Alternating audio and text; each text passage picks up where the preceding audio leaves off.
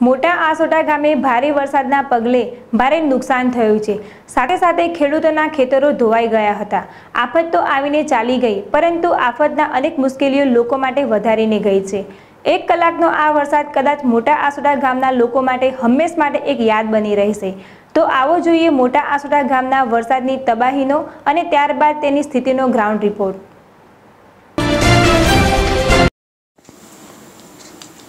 જામકલ્યાણપુર તાલુકાના મોટા આસોટા ગામે મેઘરાજાએ ગઈકાલે સવારે ધમાકેદાર એન્ટ્રી કરતા ચૌદ ઇંચ જેટલો વરસાદ મોટા આસોટા ગામે ખાબક્યો હતો. મોટા આસોટા ગામે મેઘરાજાએ જળબંબાકારની સ્થિતિ સર્જી હતી. ભારે વરસાદના કારણે મોટા આસોટા ગામમાં ઘર દુકાનોમાં પાણી ભરાયા હતા. આખું ગામ પાણી પાણી ખેતરો સહિત ગામોમાં કેર સમાણા પાણી ભરાયા હતા. તેર ઇંચ જેટલા તોફાની વરસાદથી ખેતી તેમજ ગામમાં વ્યાપક નુકસાન થયું હતું.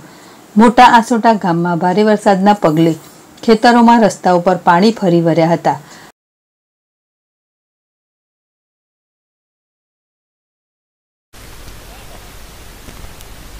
દેવભૂમિ દ્વારકા જિલ્લાના કલ્યાણપુર તાલુકાના મોટા આસોટા ગામમાં આજે સવારે સાડા આઠની આસપાસ જે કલાક, દોઢ કલાક જેટલો વરસાદ, એટલા ટૂંકા સમયની અંદર ઓછામાં ઓછો જે ગામ લોકો સાથે વાત થઈ એ મુજબ પંદર વીસ ઇંચથી લઈ અને વીસ ઇંચ સુધીનો વરસાદ જે પડ્યો છે. અને અચાનક જ વરસાદ આટલો એક જ કલાકની અંદર પડવાથી સ્વાભાવિક છે કે ખેડૂતોના ખેતરો ધોવાઈ ગયા. છે ખેતરોની અંદર જે પાક હતો એ ધોવાઈ ગયો છે. કેટલાક ખેડૂતોની જે રક્ષણ માટે દિવાલ કરેલી હતી, દિવાલો પડી ગઈ છે. ગામની અંદર જે વંડીઓ નાની નાની હતી, એને પણ નુકસાન થયું છે. ખેડૂતોના ઘરની અંદર બાજરો, જુવાર, મકાઈ જે ખાવા માટેની ઘર વખરીની વસ્તુઓ છે, એ તમામ પલળી ગઈ છે. ખેડૂતોએ જે ખાતર રાખ્યું હોય, ખાતર પણ પલળી ગયું છે. એટલે પારાવાર નુકસાની થઈ છે. જે ગામ લોકોને કયા મુજબ ભેંસો પણ તણાઈ છે, ગાયો પણ તણાઈ છે અને કેટલાક દિવાલ પડવાના કારણે કેટલાક વાહનો પણ દટાઈ ગયા છે. આ પરિસ્થિતિમાં અત્યારે સવારે કલેક્ટર સાહેબ સાથે પણ મારે વાત થઈ, ડીડીઓ સાથે પણ વાત થઈ અને અહીંયા જાત તપાસ માટે તંત્ર આવ્યું છે.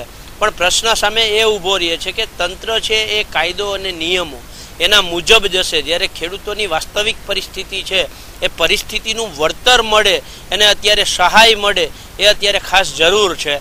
સરકારને એક જ વિનંતી છે કે ખેડૂતને તાત્કાલિક વળતર આપવામાં આવે. તેમજ ઘર સામગ્રી પણ પલળી ગઈ હતી.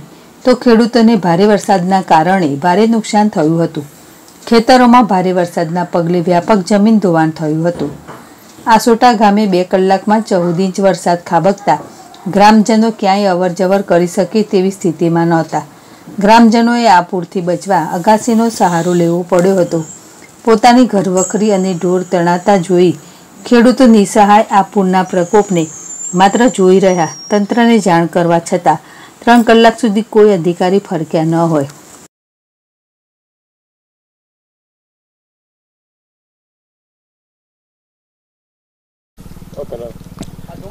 જે મોટા સોટામાં બે કલાકમાં ચૌદ ઇંચથી વધારે વરસાદ પડ્યો છે ત્યારે ખેતરોમાં કેટલું નુકસાન જોવા મળી રહ્યું ક્ષેત્રમાં બેથી અઢી હજાર વીઘાનું નુકસાન થયું હશે.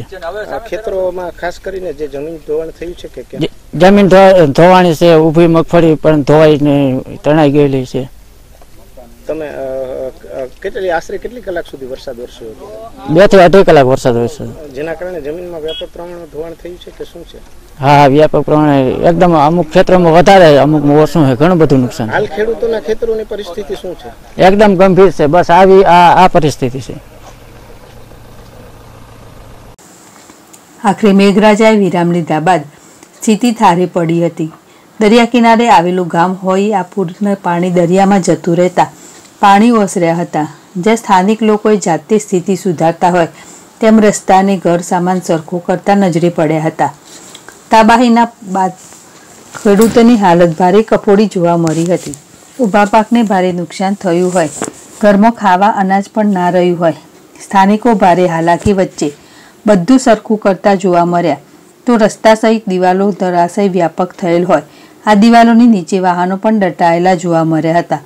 ત્યારે તંત્ર સમીક્ષાની વાત કરી રહ્યું છે.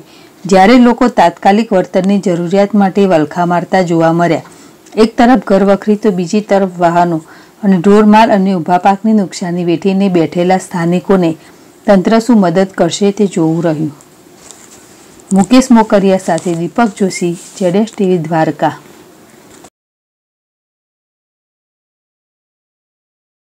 આ ગામમાં બે કલાકમાં ચૌદ ઇંચથી વધારે વરસાદ પડ્યો છે. જેના કારણે ઘરમાં પાંચથી છ ફૂટ પાણી ભરાઈ ગયેલા, જેના કારણે અનાજ બધું પલળી ગયેલું અને બધી જગ્યાએ સર્વે પાણી ફરી વળ્યું, દિવાલો તૂટી પડી વાહન વાહન પણ બધા તણાઈ ગયેલા અને ઢોર વીસથી ત્રીસ ઢોરો પણ તણાઈ ગયેલા અને એના કારણે ઘણા લોકોને વધારે નુકસાની પણ થયેલી છે અને અનાજ પણ બગડી ગયેલું છે અને ખેતી પણ વધારે પડતી બધી જગ્યાએ પાકનું પતી ગયેલું છે હાવ. અને જેના કારણે વધારે નુકસાન થયેલું છે. તંત્ર અહીં વરસાદ બંધ થયેલો ત્યારે પછી બેથી ત્રણ કલાક પછી તંત્ર આવેલું છે. જેના કારણે અત્યારે તંત્ર તો છે, પણ એ પણ હજી કોઈ પણ પ્રકારની અનાજની કે કોઈ પ્રકારની સહાય નથી મળી અમને. જેથી લોકોને ઘણી બધી તકલીફો સહન કરવામાં આવી છે.